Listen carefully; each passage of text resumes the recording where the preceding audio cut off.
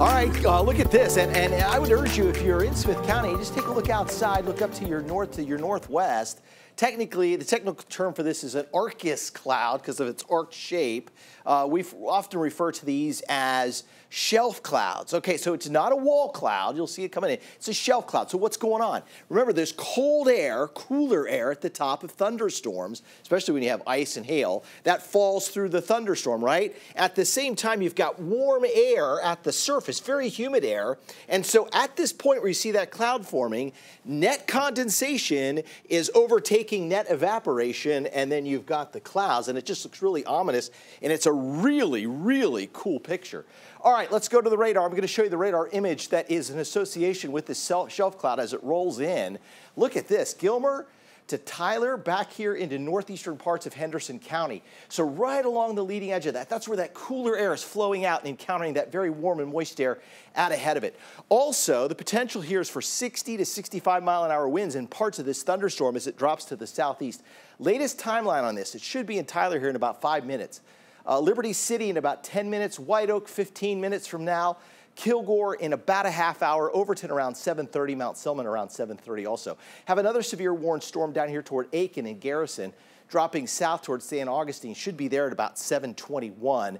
This one may pack some winds in excess of 55, close to 60 miles an hour. We did have a report of, of tree down onto a residence, and this was on Forest Street, just on the southwest side of Henderson. But back to that just ominous cloud, uh, very funky looking shelf cloud as it rolls into, into Tyler, into Smith County. Uh, just what a fabulous, phenomenal shot. If you get any picture of that, please share that with me.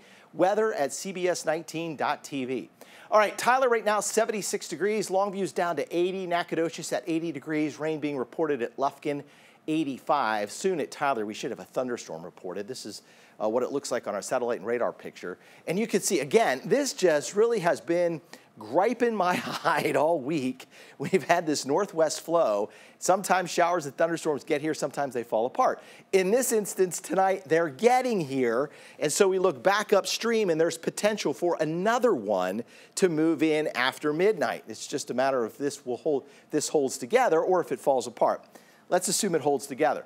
Then we have showers, thunderstorms that'll be weaker than the ones this evening, rolling in overnight, ending early tomorrow. And then we heat up into the mid 90s. It is going to be a hot, humid day tomorrow. Sunday's probably even hotter with temperatures in the upper 70s to start the day, finishing the day in the upper 90s. So the urban kids uh, hooked on East Texas Fishing Derby tomorrow. Damp and cloudy. It, there may be a left, leftover shower at 8 a.m. I, I think it'll be gone. Summer breeze at 10 a.m. I think we get a break with the clouds, temperatures in the lower 80s through 10, and then a hot finish with temperature around 90 degrees at noon. And then the heat dome just intensifies next week. It just gets hotter and hotter with highs climbing into the upper 90s by late in the week. So here's your Baylor Scott and White Texas Spine Joint Hospital seven day forecast. Showers ending early tomorrow, perhaps before daybreak, but let's just say they could hold on until 8 a.m. Then it turns hot. We're up to 95 in the afternoon. Hot stretch begins on Sunday. Let's call it a heat wave on Monday, and then the heat wave day one, two, three, four between Tuesday and Friday. Highs each day around 100 degrees. Of course, throughout the evening, we'll keep, we'll keep an eye on the thunderstorms as they roll back into Smith County, and uh, we'll let you know if any more warnings are issued.